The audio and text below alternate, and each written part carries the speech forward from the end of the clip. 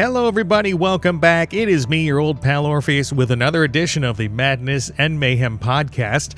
That's right, it's a chance for you to get on those uh, headphones and sit back, relax, and listen to the smooth sounds of your old pal Orphoeus as I slip into that radio DJ voice from the early 2000s. anyway, hi there. I hope you're doing well wherever you are today, whether it is day or night. Doesn't matter to me as long as you're stopping by and enjoying some of my content.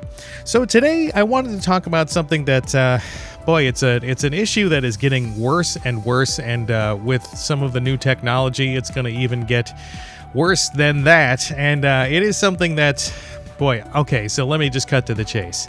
I'm a former journalist, a former radio personality, and uh, a former, you know, uh, news director, news anchor, news reporter for several radio stations across the country a long time ago. Uh, seems like a lifetime ago, but anyway. And uh, when I was going through school for journalism, we were taught a lot of different things. And I think we've strayed from the path uh, in terms of our society and news and journalism and media in, in general. So that's what we're going to talk about today. Okay. So when it comes to journalism, I have to kind of go back and tell you a little bit about myself in terms of uh, the the background that I have. Okay, when I was really really young, like old enough to operate uh, a little uh, cassette player kind of radio thing. Uh, I used to do my own little radio shows, and I would sit there and I would interview my friends, and I would uh, play little clips of music and come back just like I'd heard on the radio. You know, uh, radio was in its golden age back then, still sort of is. you know it, they've dropped a lot of it since since a lot of it became automated uh, the flavor has been lost but i'll get into that a little bit later um, I used to interview my friends. I used to like, you know, have little shows where I'd talk about like the weather and stuff like that. And, you know, what you'd think was going on with uh, a, a, kid trying to emulate a radio personality. And so I always had this dream of being on the radio. And the coolest thing about it for me is you get this sense of being invited into someone's home right? You're this this phantom voice that comes floating across the ether on radio waves, and someone has to sit there on a dial and tune you in or hit a button to tune you in specifically, and they sit back and they're listening to you, and you get to just kind of drift around in the airwaves in their home. I know this sounds really deep, man. Like, whoa, that's really cool. No, but like, you know, that's one of the things that I always liked about radio is there's this there's this closeness and this warmth to it, but at the same time, a lot of people just have radio on in the background, right? It's this kind of background noise. And I know some of you out there put my stuff on in the background while you're cleaning or cooking or, you know, doing whatever in the house. I am totally cool with that. like, absolutely. If you're one of those people, hats off to you you're doing a lot of good uh, for yourself by just giving yourself a chuckle and getting whatever project done that you have to. so anyway, um, I always had this this uh, fascination with that being invited into someone's life idea. The other one that always got me was the idea that radio waves are going to travel out into space forever. Now they do dissipate, okay, but there is a faint signal that goes on out into space for forever, and with my voice being traveling out there and it's been the speed of radio is the speed of light, I think. So it's been 20 light years some for some of the broadcasts that I've done or more. so it's that far away from the uh, the the uh, the Earth. So it's this kind of cool idea that that kind of what I do, what I did was eternal, right? Something that uh, will go on and and live on, and that's kind of the cooler thing of radio, you know, being able to know that you you're going on forever almost. You know what I mean? It's like it's it's this cool uh, thing. I don't know. I keep saying cool, but it's like for me, it is this amazing uh, bit of technology that comes across that allows me to to live on, right, beyond my years and on into space. Again, we're getting really deep, man. I know know, right? So anyway, um, so let me let me talk a little bit more about like when I went to uh, to school, like uh, college. I took English and creative writing and uh, communication skills, and then I, I, went on to go to a broadcast college and uh, graduated from there with a degree in radio and uh, radio engineering. So, broadcast journalism, things like that, were the classes that I took. Now we need to talk about what's happened to news in the last, I'd say, 10, 15 years, but it's gotten ex- exponentially worse in the last five years, and especially since COVID hit everybody. And that is that news has become absolute garbage, right? When I was in school, we were taught things like journalistic ethics, um, being able to uh, tell the difference between right and wrong, right? The, the basic stuff of not taking a side on a story unless you specifically tell them that you are what's known as a pundit or someone that is a, a speaker for a certain cause or side of something. You're being partisan, right? You're, you're taking a side on something. And when you do that as a news personality and you're not on something like like you know Hannity or you know someone that's that's very or like uh, Rush Limbaugh. You know what I'm saying? Like someone that is very very upfront about their uh, the side that they're taking. It can be really very difficult for you to suss out what the truth is with a lot of stories. And so back then, we were taught like to be very clear, to be accurate, brief, and concise. The ABCs of writing accurate, brief, and concise. You want to not take a side on something, right? And one of the other things that we were taught is to not use something called inflammatory language. Inflammatory language is words that would, you know, they make you kind of pop your head up and wonder. So when you when you uh, read a news headline, it's you know the Prince of Wales goes on a trip and uh, decides to visit some refugees, uh, and you know, so the the headline is something like Prince of Prince of Wales or Prince of wherever um, visits refugees at homeless camp. Okay, instead, inflammatory language would be like like a Prince of Wales um, visits war torn, uh, scarred landscape. You know, like it's it's this inflammatory language. It inflates itself and it makes it a lot worse. It's also words like, okay, hey, trigger warning for anyone that's got a sensitivity to words. Uh, words like rape, abortion, um, abuse, um, bomb. These are all things that, if you put them in headlines or if you put them into the story itself, it causes a lot of trouble because it makes people, you know, it's this false like, oh, what's what's going on, right? And this may seem silly because these days the idea of clickbait is. Whew, everything here on YouTube is pretty much clickbait. Uh, at least the big things are. And in news, it's starting to bleed over into news. And that's the problem with the media today. They are more concerned with getting your eyes and your clicks than they are with being accurate, brief, and concise.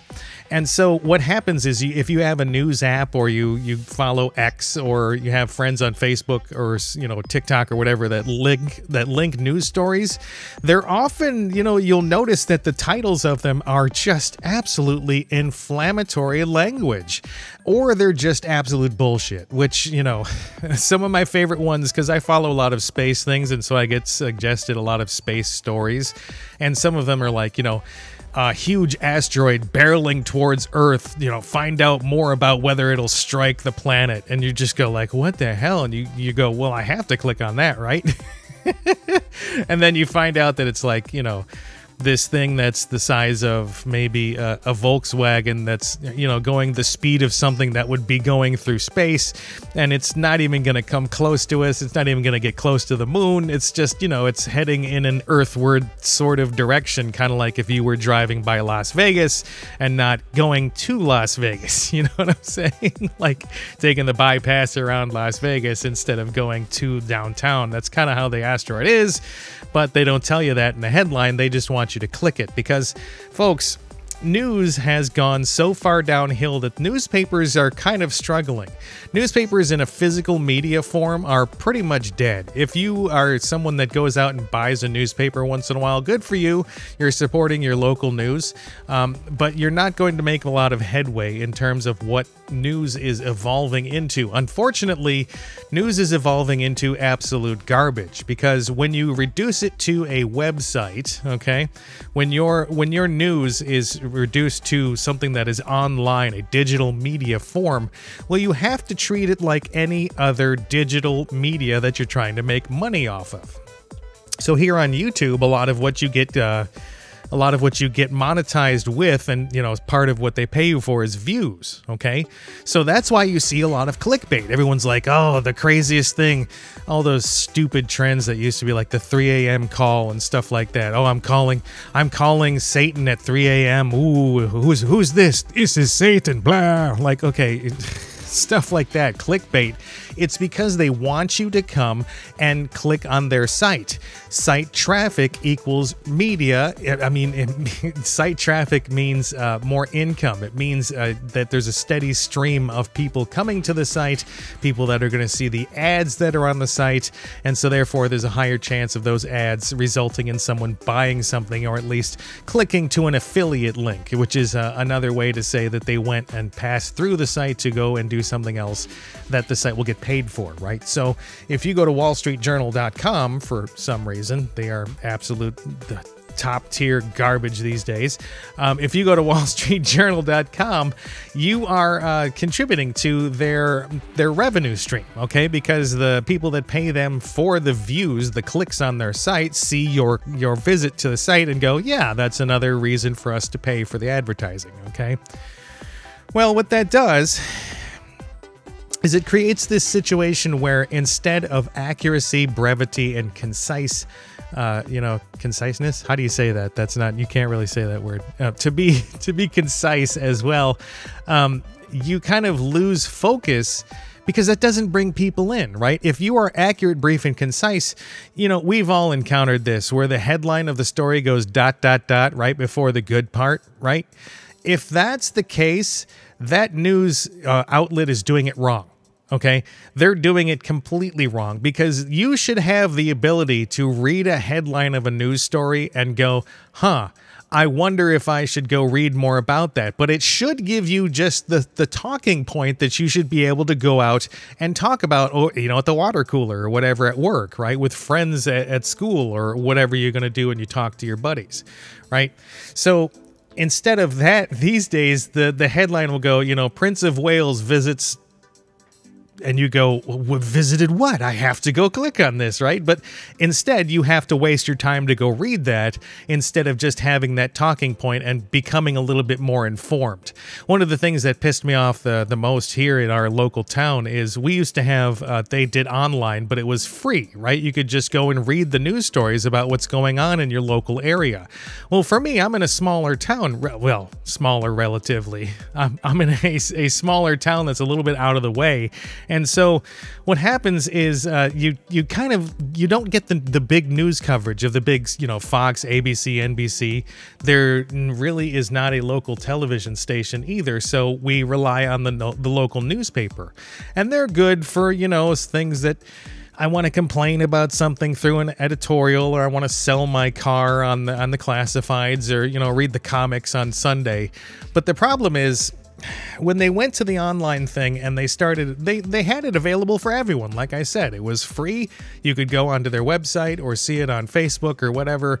And there you go. You had your your source of news for what's going on in town. Well, just a few years ago, they switched their model to become monetized. And so that's all behind a paywall. You have to pay them a monthly or annual fee in order to get access to the newspaper. And you say, well, what's the harm in that? They're making some money. Well, the thing is, they're making the community dumber okay?